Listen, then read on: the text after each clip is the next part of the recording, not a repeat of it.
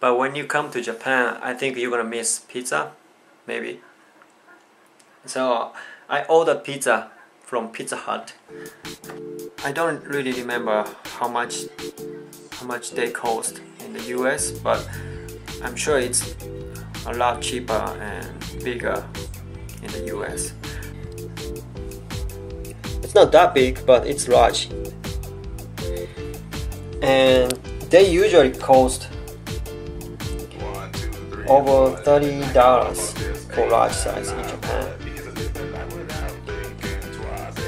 So I uh, I didn't pay $30 I mean 30 3,000 yen. I didn't pay that.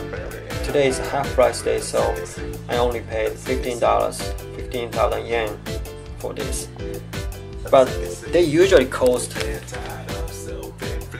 thirty dollars, uh, three thousand yen for large size.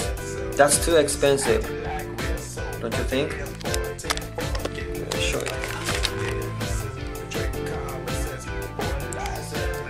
See, see the price?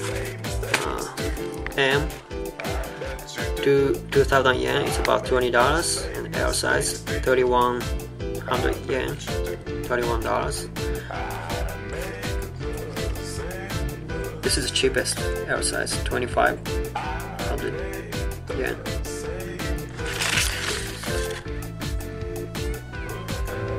Thirty-five, thirty-four, thirty-five.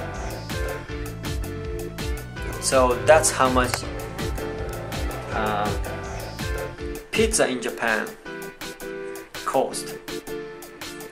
You have to pay a lot of money. So I don't really order, but